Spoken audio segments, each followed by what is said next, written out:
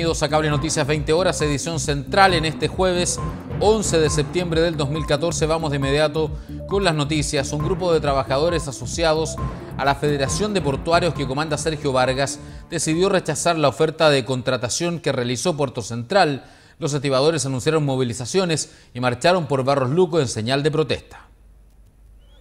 Un grupo de aproximadamente 70 trabajadores asociados a la FETRANPEC, Federación de Portuarios que comanda Sergio Vargas, se reunió en el antiguo sindicato de estibadores del Paseo Villamar para manifestar su rechazo a la propuesta que realizó la empresa Puerto Central a través de un llamado a contratarse. En el mismo lugar, Sergio Vargas entregó las razones que a su juicio obligaron a los portuarios a rechazar a la oferta de la concesionaria del Espigón. Un llamado a contratarse eh, mentiroso, falso, como lo ha hecho la empresa durante todos estos años que ha estado operando en el puerto de San Antonio. Hoy día le ofrecen entre 700 y un millón de pesos a los trabajadores.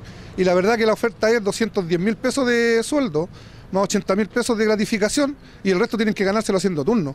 O sea, es la misma precariedad, pero disfrazada. Para Sergio Vargas, la oferta dada a conocer por la compañía no satisface las demandas de los trabajadores portuarios y además echa por tierra las negociaciones que mantuvieron durante ocho meses y que según el dirigente se encontraban en un 90% de avance. Después que tenemos el 90% del acuerdo o del protocolo de acuerdo listo, que nos hacen trabajar durante ocho meses, nos dimos cuenta, ¿cierto?, que este trabajo fue para formar lo que hoy día formaron levantar una federación en paralelo, una federación con gente que nunca ha trabajado en el espigón, hoy día llaman a más gente que nunca ha trabajado en el espigón.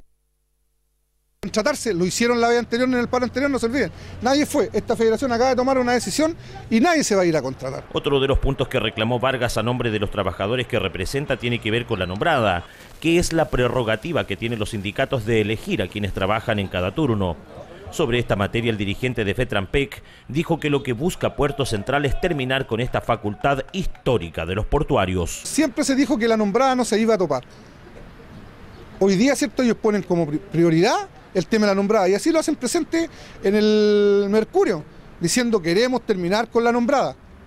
Eso es lo que quieren. No se olviden, se lo decía a tu colega, que acá murieron cuatro viejos, ¿cierto? Por defender esa nombrada.